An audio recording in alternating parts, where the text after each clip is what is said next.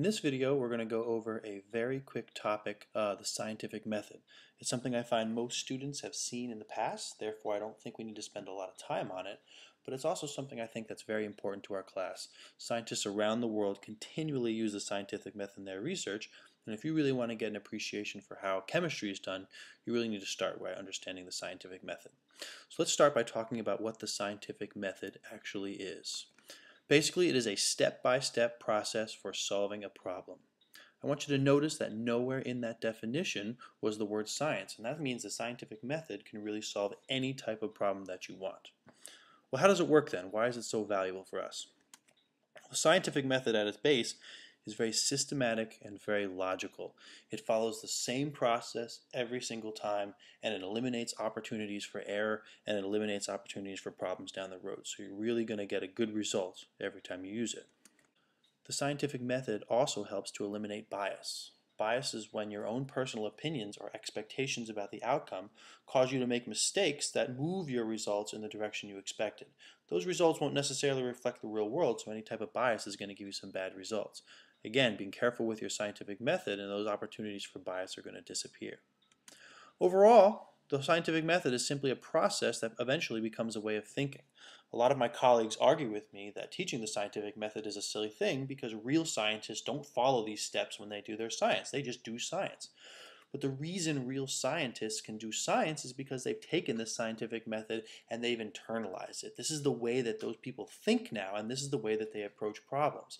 Uh, to, stay, to say then that you guys as new scientists don't need to know this, I think is very silly, because how you get to the point where you've internalized the method if you never learned the method in the first place? So, we were talking about the fact that the scientific method is a process. Let's take a look at the process itself. A lot of different people show you the scientific method in a lot of different ways. You can have varying numbers of steps. At the end of the day, though, it's always the same process from start to finish. I like to represent it in four separate steps. I think it's the easiest way to get things done. All I want to do today is talk about what those four separate steps are, and then later on we'll develop the skill further. So you always start the scientific method by making an observation. An observation is simply something that you see or measure that you simply cannot explain. Hopefully, once you see something like this or measure something like this, that naturally piques your curiosity.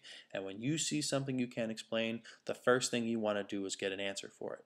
And that's what brings us to our next step, the hypothesis. The hypothesis is your best possible explanation for what it is that you've observed. The key words here being best possible. Your hypothesis does not need to be right, but your hypothesis does need to be reasonable. It needs to be based on everything that you've learned. It needs to be based on everything that you've researched and you've pulled together your best possible explanation. Now, there's one more catch with a hypothesis before we move on here, and that is your hypothesis must be something special. It must be, any old hypothesis can't do, it's got to be what we'll call a testable hypothesis. If you can't design a test to determine if your hypothesis are true or false, then it's not a hypothesis that you can use. This is something that students get caught up on very, very often, but really all this requires that you do is go back, reword your hypothesis in a way that you can design a test for it. Once you have that testable hypothesis ready to go, it's time to test it. That brings us to our next step, which is the experiment. An experiment is simply a test to determine if your hypothesis is true or false. Now, doing an experiment, there's a lot of stuff involved with this, and this is probably one of the most challenging parts of the process. We actually have a separate video that you can watch that talks about the elements in an experiment, and good experimental design is going to be crucial. Now, once you've got that experiment designed and you're able to perform it, ultimately you're going to get some results, and that brings us to our last section, the conclusion part. The conclusion is simply the results of your experiment that use data to make a claim about the validity of your hypothesis. And really what you're going to come up with is my hypothesis is true based on the data that I've collected or my hypothesis is false based on the data that I've collected. And that brings you to the end of the scientific method. Once you've done this, you should have a better idea or a better understanding of the material or of the topic that you're working with. But that's not the end of the science process.